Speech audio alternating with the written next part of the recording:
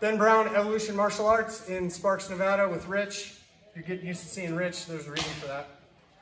it's because you're in class a lot now. Your life is such that you can make it here a lot. Um, and I dig it too because butterfly guard is, is a thing you're putting in your toolbox. You're catching on to everything we're doing really fast. So what we're doing now is I'm gonna do a quick recap. From butterfly guard, the very best thing you can do is back exposure. Usually from an arm drag, back exposure. Best thing there is. Most common thing most people use butterfly guard for, sweeping. So he gets, you know, an underhook and a collar tie and then underhook sweep. Yeah, boom. Any kind of sweep, most of them are like that. That's the second most common thing. Another thing you can do, this is what we worked on today, is leg exposure. Leg exposure from butterfly guard is always gonna come from, let's turn this way a little bit. Yep. Is always gonna come from Rich making me post one of my legs or maybe both of my legs out. Even easier for you is if I go to combat base. I'm creating the opening right there. The thing with combat base though, is a good combat base is here and there's not much opening. But if you see a person kind of doing this, versus your butterfly guard, attack that leg, right? Yeah. So the way to do it is you're gonna slide and the knee on the same side has to go through. Then he scoots in and I want you to think of it as an overhook with your leg.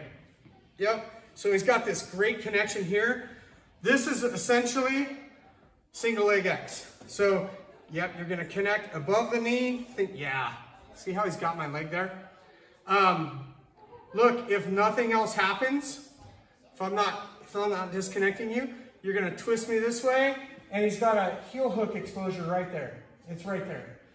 Um, what this person might do, and a good way to stay out of a heel hook, is to stand up, because you can't heel hook me now.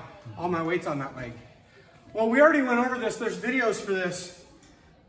Yeah, so single leg X. There's all the sweeps from here, and then we like to go right to X guard. If they get rid of that, look, he's already got me off balance. He's not even trying. I go here, you go back to single leg X. So leg exposure turns into leg entanglement. The other way he can do it is he starts to sweep me, starts to sweep me that way. So any kind of sweep, right? And I, you see what I did? I got up on both legs. But look at all this space it's the exact same thing. You got to get this knee through. Yeah, and you can, what you were doing there, you could put my heel on your... On the outside? You could, for sure, right? This is tough for me. If you want the heel hook exposure, then you, yeah, put it in your armpit, just like that. And he goes right to single leg X, which is ashi garami, which means leg entanglement. You don't have to get too fancy about it. A lot of times the person's gonna stand up, to deal with it. Look, first thing I would do here, twist sweep. Mm -hmm. And you're in, look, you have my leg, you have a, you have a leg lock right now. Put this on my hip. You're in a leg lock position.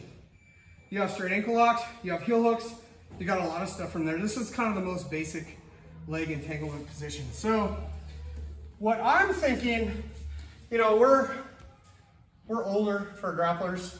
A lot of us in the class are. It's kind of that kind of class. Who else is going to have time in the middle of the day to do jujitsu? But I'll be in butterfly guard. I'm not that agile these days. I don't see myself creating leg entanglements or leg exposure as a primary thing from butterfly guard. But what it can do, to pass my guard and deal with my butterfly guard, um, combat base is way better. So say you go to combat base right when I see that, so if I'm rolling with you and I want to keep you with both your knees on the ground, I'm going to threaten this a lot. So you pull that out, right? And then we're back here, but I see you post up. Boom, I'm attacking right away. What that's going to do is deter you from maybe wanting to do this. So then what I'm doing is I'm limiting your options to where I'm kind of putting you in this place where it's not great to be. So then I can go for all my arm drags and everything else.